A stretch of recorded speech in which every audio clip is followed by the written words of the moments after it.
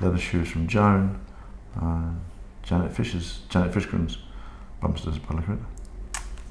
I remember Jan wearing those. So, sorry, Ameline wears hard hand-painted thorn latex top from The Hunger, Spring Summer 95, courtesy of Janet Fishgren. Oh, Janet had Bum- that top. She had a top, not the Bumsters, I'm sorry. Bumsters, She did have trousers, Bumsters. Dante, Autumn Winter 96. I wonder if those those trousers are Katie anyway. Bumpsters. Mm. You talk about bumpsters. Um, I mean, photographically, there's just well, they're a very just a very erotic piece of clothing to, to Yeah. photograph because they show something that other pieces of clothing don't. Yeah. And uh, I only paused because I'm slightly cautious about putting too much of my own slant on it. But it's one of the most erotic zones of the body because it's the moment before you get down to the sex. Yeah. So it's Yeah. the moment before you. Well, that's what Lee thought. Yeah. So man or woman, it's that, and in a way, the anticipation is so important in sexuality. Is is the most important thing, isn't it? So that's for me where the bumpsters are, front to back, man, woman. Lee was interested in the small of the back, Right. the bottom of the back, Yeah. but obviously from the front they're amazing too. And actually, we, you know, how amazing to make that cut in a way that it stays up. And I noticed she's got her leg out, so maybe it wasn't staying up so well. But No, the thing about the fine. bumpsters Yeah. were they did stay up. Yeah. And technically, that's incredibly difficult to do. And technically, Lee will have been able to do that because he was obviously incredibly gifted, but also because of his Savile Row training. Mm. Because engineering that shape and making it sit the way it sat Yeah. and stay there is something else. Yeah. I think that was probably very difficult. Um, the picture really is sort of you know, part of the reason to um, talk about. I guess to talk about his love of wildlife Birds. and birds. Um, we've put a sort of mass of crows, but I mean, where the I mean, it's sort of obvious, really, but it stems from you know, most children's love of nature. Yeah.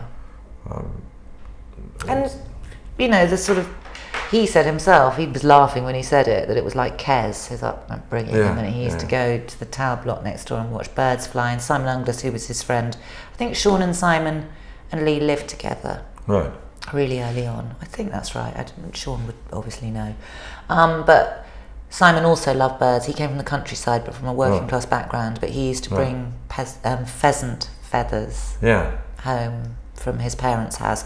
But Lee was a birdwatcher. He was a member of the Young Ornithologist Society of Great Britain, and you know Simon had all those little observer books of birds. I've got them too. Actually, Yeah, they're you- fantastic. yeah. Oh, well, Charlotte's abs- my wife is absolutely They're lovely. young ornithologist of the year. Yeah, absolutely. Yeah. 1976, yeah, whatever it is. Well, there you go. But Lee was too, and it was the kind of there was a you know there was a brutality to Lee's Yeah.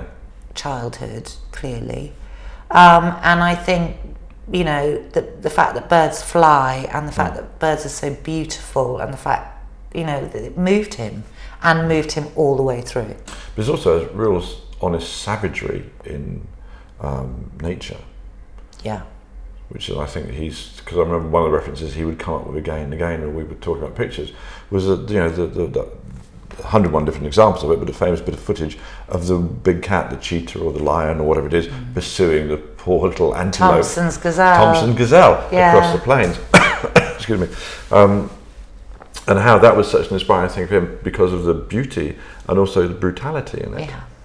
You know, it was actually the sort of Which, if you've had quite a brutal time, yeah, there is no better way. Well, I guess there's no more cathartic way to look at it than to see the potential for beauty in that. yeah, It's a way of dealing with it, isn't it? Maybe.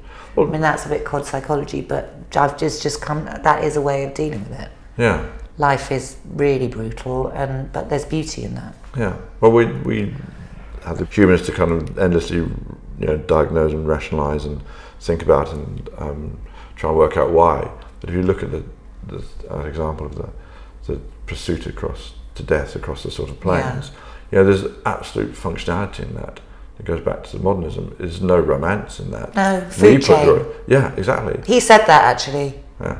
He said that What- about Thomson's gazelle. He just said it's part of the food chain. Poor Yeah. little, poor little critter doesn't get to live for long. Part of the food chain. Yeah. But the, the And he was, but he, you know, he did a whole show about Thomson's gazelle, and so clearly that kind of fragility yeah. Was something that he was moved by. Yeah, which show was about? That's It's a Jungle Out There. That had the Thomson's Gazelle makeup. Oh, okay, Remember so with the burning cars? Yes, that's the one I did the invitation for with Deborah They, Shaw. they, that's it, With okay. the Thomson Gazelle horns Okay, yeah, exactly, Yeah. exactly. I think the idea behind that image was that she, you know, had either just eaten the Thomson's Gazelle. she was becoming one. I couldn't quite work out where it was going. Well, that, but I think that with Lee was ongoing. You couldn't work out victim, predator, victim, predator. Yeah. There- you know, there was a tension between both, yeah, depending on how you looked at it, actually, which is probably why one person can look at something and think, wow, that's so empowering, and another person can look at it and think, how could they do that to that person? yeah. Well, that's that's the image I was talking about earlier. Yeah, I was saying well, I got a lot of. So we've gone I full circle, yeah. reflective sort of um, um, criticism that it was misogynistic. Whereas I'm thinking, this is an image about a cheetah and a Yeah. gazelle. I'm sorry. And But Lee then- was interested in both. Yeah. The victim and the predator, definitely. And maybe, you know, in expressing those in one image. And maybe you are too, you are. No? Yeah, absolutely, Yeah. absolutely. If I was writing about you, I'd say that. Um, I mean, this image also pulls very heavily on Hitchcock's The Birds.